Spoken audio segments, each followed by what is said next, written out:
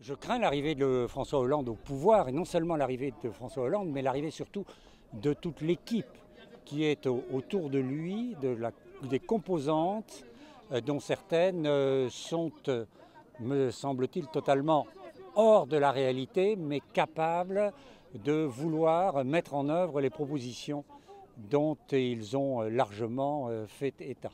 Non, euh, François Hollande ne m'inquiète pas particulièrement, mais c'est tout ce qu'il y a autour de François Hollande qui m'inquiète. Il y a eu les primaires qui ont mené euh, un courant euh, de sympathie, qui l'ont fait connaître, qui ont donné un, relais énorme dans la presse. Donc c'est ce qui fait qu'il est en tête. Mais petit à petit, il ne faut pas se tromper, qui va voter Ce sont bien les électeurs. Et les électeurs sont en train de prendre conscience que tout ce qui a été donné avant, c'était du rêve. On parle beaucoup de sondages, mais euh, comme on l'a vu à de nombreuses reprises, notamment en 2002, les sondages ne prédisent pas du tout la réalité. Et justement, c'est ceux qui suivent les sondages généralement qui en sont pour leurs frais.